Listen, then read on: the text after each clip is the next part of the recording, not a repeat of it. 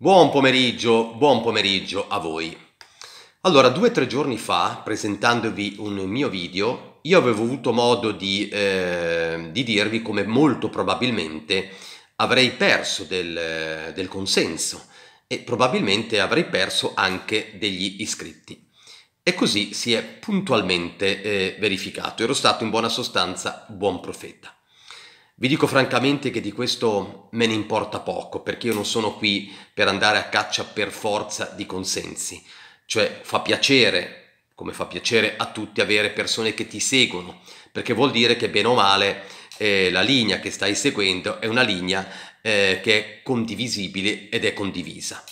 Ora però eh, nel nostro paese succede, eh, e questo lo vedo anche dai social, che quando tu attacchi un, un, leader politico che magari è stato idealizzato dalla maggior parte delle persone, oppure fai un commento di, di, di critica rispetto a una certa situazione, eh, la gente eh, ti volta le spalle. Succede un po' così. Questo è successo ad esempio quando ho avuto modo di eh, eh sottolineare il fatto che io non avrei fatto quella scelta che ha fatto Matteo Salvini di andare a citofonare a, quel, a quella famiglia. Eh, è successo anche quando io ho criticato il governatore della Lombardia Fontana per eh, quel video con, con la mascherina. Vedete, nel momento in cui uno critica un certo atteggiamento o critica l'idea o eh, dichiara di non essere d'accordo con una certa idea, non vuol dire che è contro quella persona, non vuol dire che non stima, che non apprezza quella persona. Io per tantissime ragioni apprezzo Matteo Salvini, apprezzo tantissimo il governatore della Lombardia Fontana, però ci sono talvolta delle situazioni e delle idee che non condivido e quindi lo dico. Non ho problemi a dirlo e credo che sia corretto che io lo dica.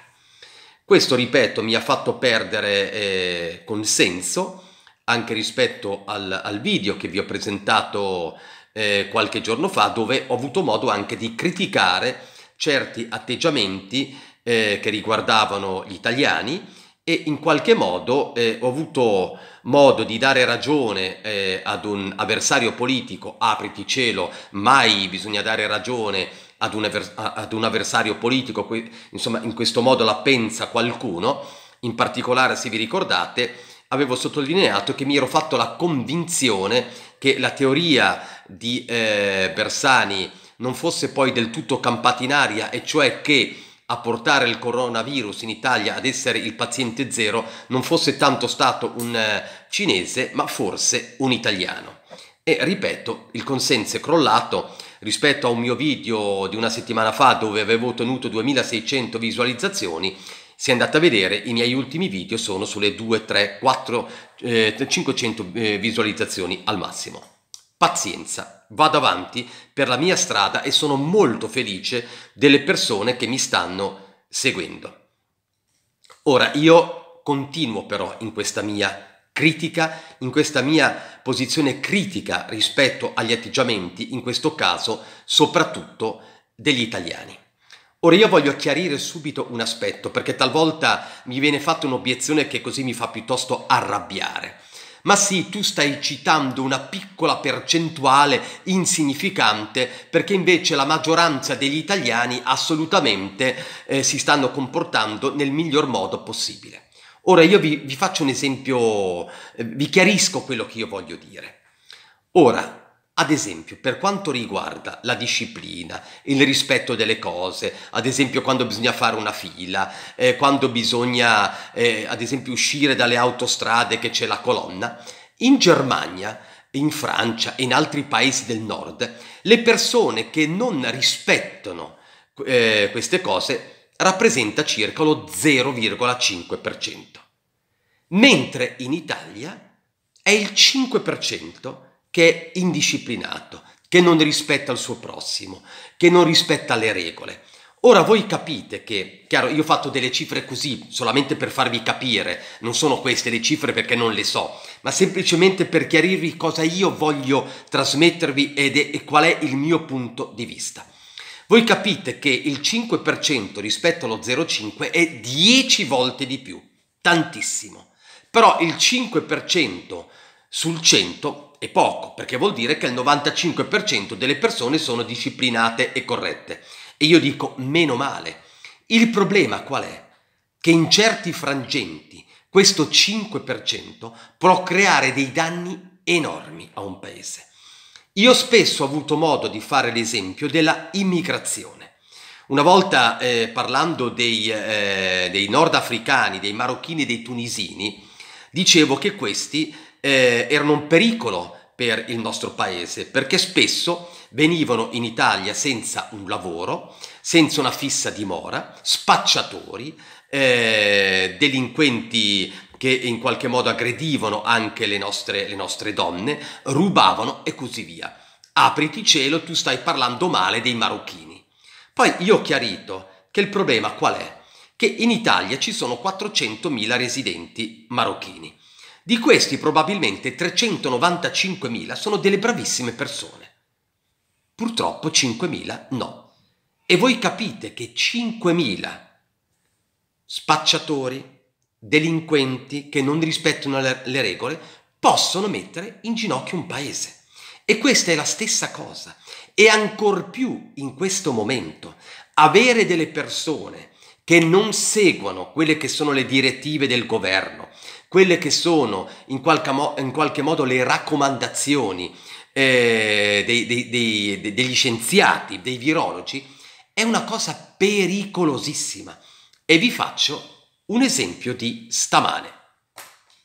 Nel Foggiano un, eh, un anziano è morto, è morto di, di, di polmonite, eh, chiaramente sono stati fatti gli accertamenti a questo anziano però è stato commesso un errore pazzesco, un errore pazzesco.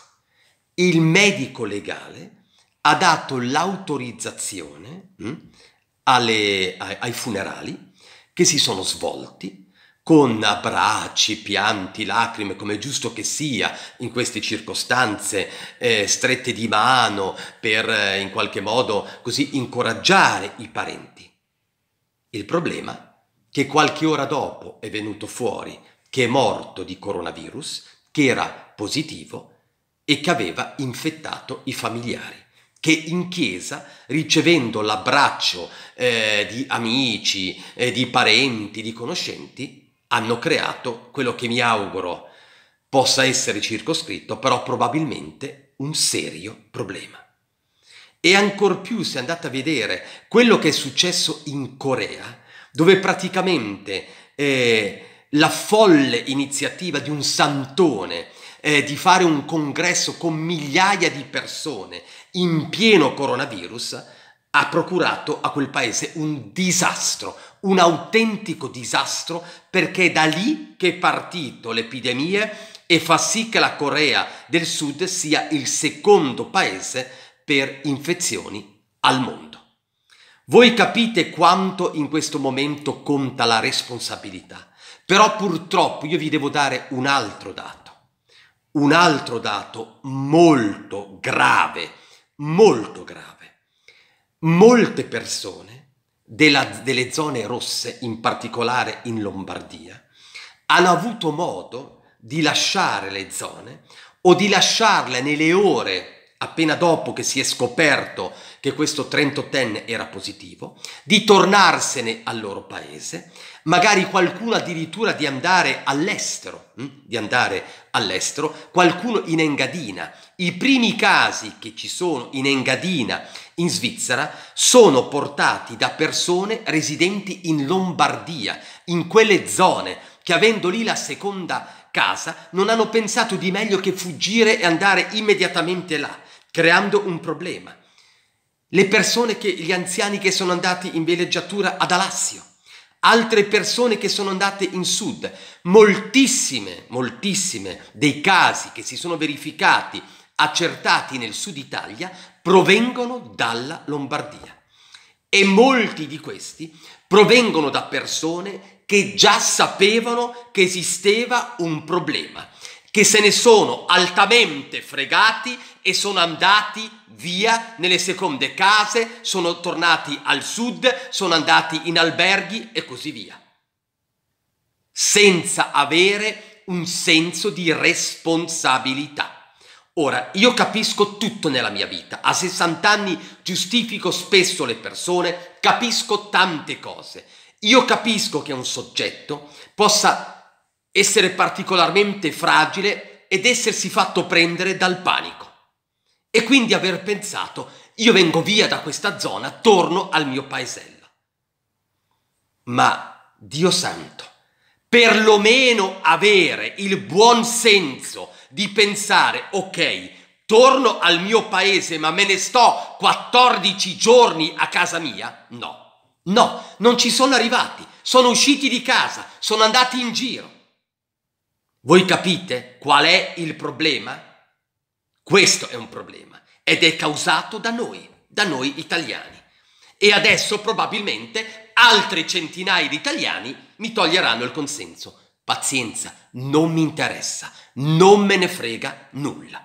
Io voglio qui dire la verità, perché ripeto, questa è una verità, non perché lo dico io. Tantissime persone che hanno contagiato, che hanno portato il virus in giro per l'Italia, provenivano da quelle zone. E attenzione, una buona parte, una buona parte sono venuti via da quella zona dopo il 22 febbraio, dopo che si era saputo di questo 38enne residente a Codogno. Dopo, non tutti, non tutti, ma buona parte sì. E questo è inaccettabile, è inaccettabile. Con questo sfogo io vi, vi lascio, spero domani di trovare ancora qualche decina di persone che, che mi seguirà e a questo punto credo che saremo insieme il meglio da questo punto di vista. Perché io credo che bisogna anche avere il senso critico e non dirci sempre, siccome siamo italiani, siamo i più belli, i più profumati, i più carini.